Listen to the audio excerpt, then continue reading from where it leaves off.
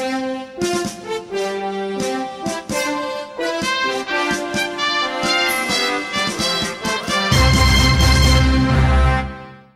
and welcome to BTC Radio. I'm Kevin Mitchell, founder of the Business Travel Coalition and your host. Our guest today is Phil Brown, Executive Director of the Greater Orlando Aviation Authority. Phil is one of the most knowledgeable and engaged aviation industry executives in the business today. It's a true honor to have him on the show. Welcome, Phil. Thank you, Kevin. Pleasure today, to be here. Today, we will discuss a few topics. First, the role of U.S. Open Skies policy when airports seek new international service. Second, the economic impact of airlines like Emirates when they enter markets. And finally, how foreign airlines can actually support new domestic competition, which is sorely needed in today's consolidated industry. The United Airlines debacle last week certainly underscored that need. Let's get right to it, Phil. The first question I have for you is As a non hub airport, what are the unique challenges that you face at Orlando International and how does U.S. Open Skies policy support your goals to attract new air service? Well, there are a couple aspects to Orlando International. Clearly, we're a non hub airport. The other is that we are predominantly origin and destination, meaning that we have little connecting traffic. And that's one of the reasons that we are not a, a hub for one of the, the big three airlines because we don't have that connecting traffic. And the local econ- economics drive this as a destination. It's been predominantly a leisure destination over the years, but it's more and more becoming a business destination because some of the high tech and health services uh, industry that's developing in in uh, the Central Florida area. Um, you know, prior to 1992, when Open Skies became a reality, the only way that Orlando could get international service was to be named in a bilateral treaty. And since a lot of those treaties were controlled to, to a large degree by the uh, the carriers, that was never uh, that was always a challenge for Orlando. With the advent of Open Skies, uh, you know, international service became a function of the business economics of flight uh, and that helped us immensely. I, I'm I don't hesitate to say that the majority of the international traffic we have, which is now about five and a half million passengers annually, annually is is a function of open skies.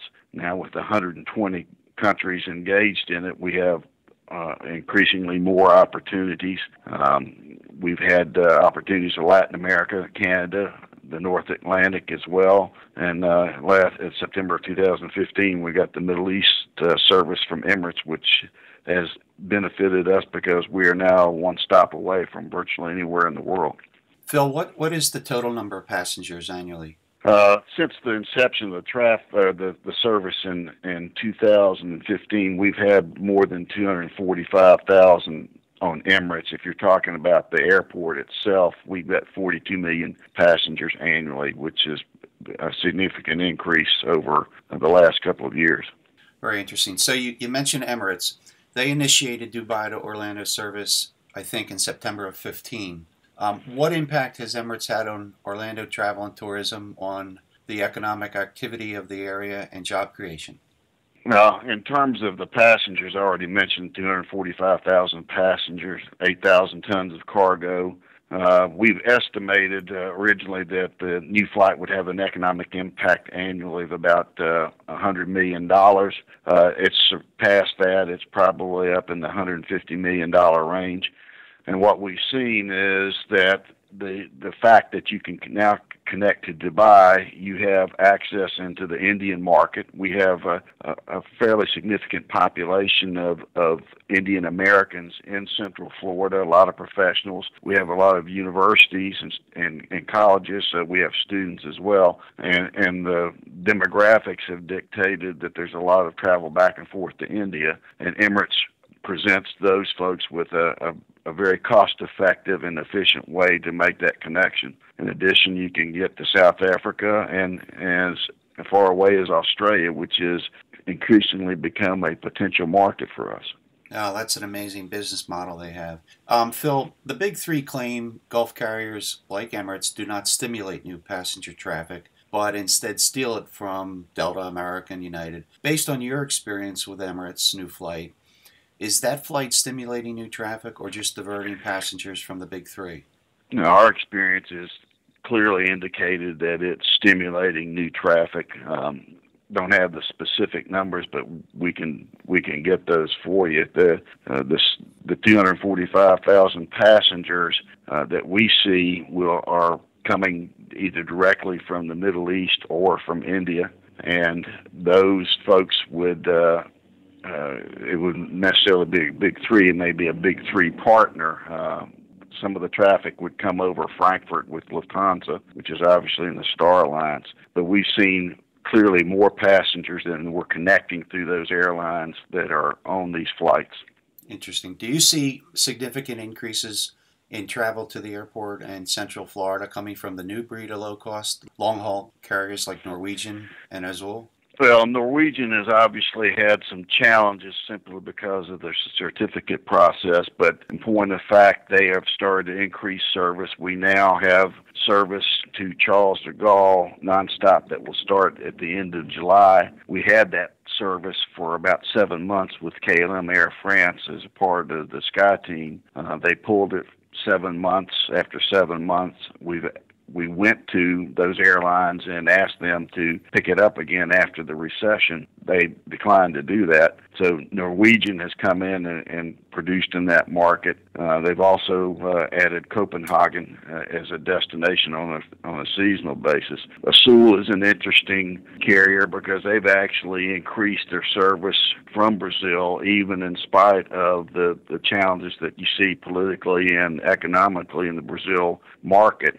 That was a fast growing market for Central Florida, uh, and we had um, a lot of service, direct service to Sao Paulo. Uh, and now Azul is not only flying from Sao Paulo, but they're adding Recife uh, and looking at other markets because they see the potential for the Brazilian market to come back.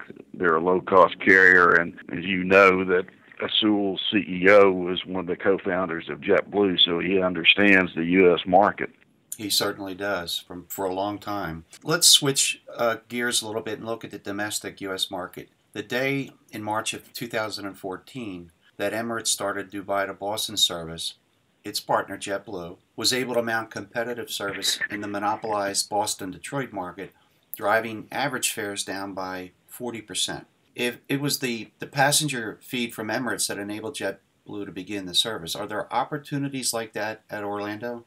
I think there are opportunities. One of the opportunities that we see is a connection to Mexico. JetBlue has has rights to fly into Mexico City. They currently have a challenge because of the slots available to them in Mexico. You know, they're they they have some challenges both from Aeromexico Delta as well as the Mexican government. But there is clearly that that opportunity for a feed from Emirates. We see uh, the potential for other locations in the in domestic U.S. to be fed. Uh, LA is being an example. Um, so I, I think that's that's possible. There's also potential for going into other parts of Latin America because uh, JetBlue does serve uh, Colombia as well as the Caribbean from Orlando.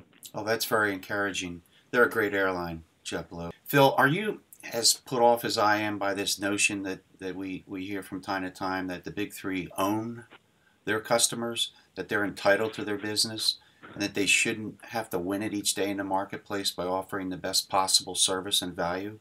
Well, um, I don't know if I'm put off by it. I've grown accustomed to it. It's been a, a theme, particularly from the network carriers, uh, because uh, I think uh, they're used to, at least at the corporate level, to the, the concept of the hub, and and I think there's an argument that because they bring so many passengers into their hubs, particularly their fortress hubs, that um, that's their responsibility our view in Orlando, because we're so heavily origin and destination, is that the people are coming because they want to come to the Central Florida area for all the amenities we have to offer. We've got a, a you know world recognized leisure destination. We're becoming more of a business center as well. So the way that we try and approach it to Orlando is that we work with the airlines as well as rental cars and concessionaires and focus on the customer. So it's everybody's customer. And so if there's some uh, missteps on the part of an airline, if they get backed up, we've got our people that go out and help them from the standpoint of working through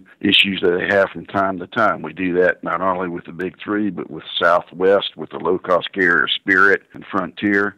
Um, because we clearly, because of the nature of, of our destination, have to be focused on the customer.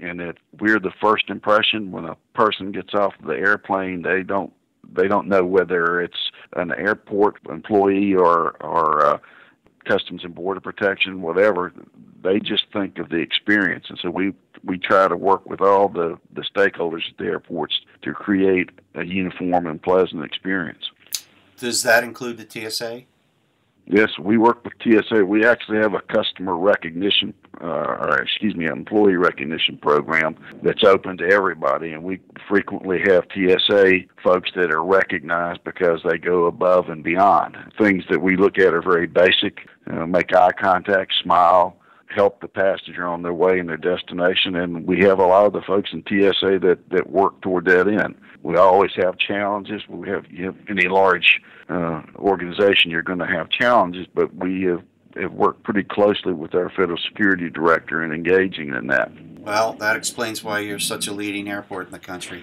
Phil, any final thoughts before we uh, wrap up? Well, we talked about Emirates a great deal, and as you know, there has been a recent announcement that Emirates is is paring back its uh, flights into the U.S. market, and the release that I saw indicated there was uh, the impact of the early travel ban in January, as well as the electronic screening process. You know, uh, we've had this discussion at U.S. Travel. I'm one of the on the board of directors at U.S. Travel. There is concern that we're not as welcoming as we have been. That's not to say that nobody, everyone wants security because that enhances the safety of the traveling public. So I'm a little bit concerned that we have created this impression that we're not welcoming. That's not to say that we shouldn't be mindful of security. We've got a lot of agencies involved in that, and we ought to work closely with those agencies. But we need to, you know, it's dollars and cents for the U.S.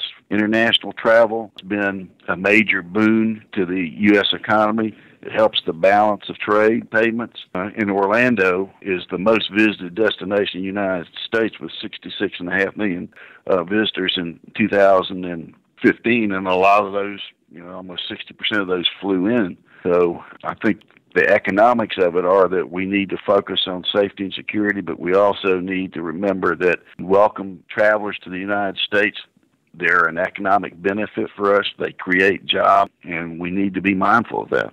Well, it's a major communications challenge at this point because the confusion has already been stirred up in a lot of markets about whether or not we're welcoming. Phil, thank you for your many insights today. Thank you, Kevin. Well, that's it for this edition. For the entire team here at BTC Radio, thank you for tuning in.